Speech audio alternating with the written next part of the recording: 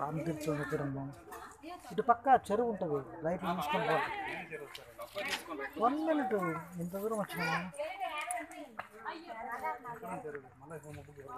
అడుగుదాం ఎట్లా బాగున్నాడు